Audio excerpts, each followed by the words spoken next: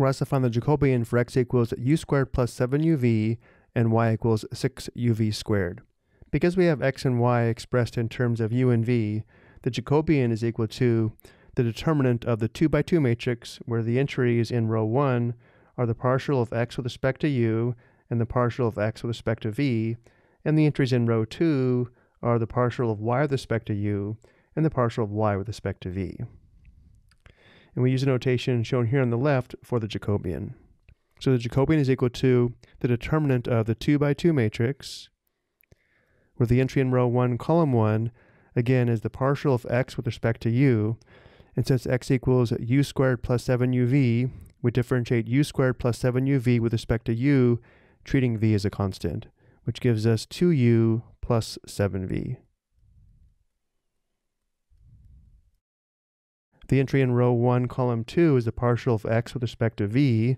So now we differentiate u squared plus 7uv with respect to v, now treating u as a constant. The derivative of u squared with respect to v is 0. Then we have plus the derivative of 7uv with respect to v, which is 7u, since the derivative of v with respect to v is 1.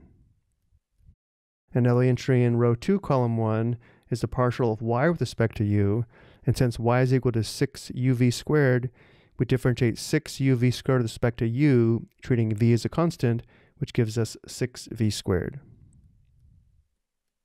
And then finally, the entry in row 2, column 2, is the partial of y with respect to v.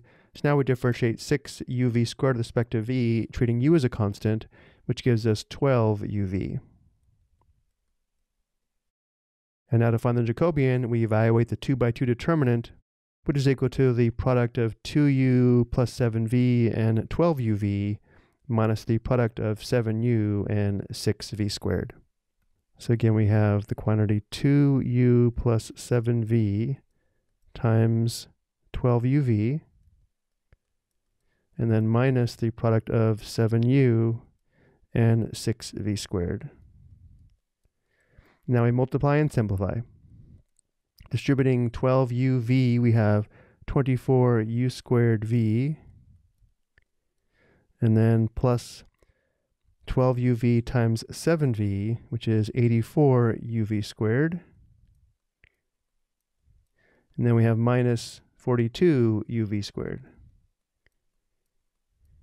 In the final step, we combine like terms. We have 24u squared v and then 84 uv squared minus 42 uv squared is equal to 42 uv squared, giving us plus 42 uv squared. So given x equals u squared plus 7 uv and y equals 6 uv squared, the Jacobian is 24 u squared v plus 42 uv squared. We will use a Jacobian when performing a change of variables to evaluate a double integral, which will make the double integral easier to evaluate. I hope you found this helpful.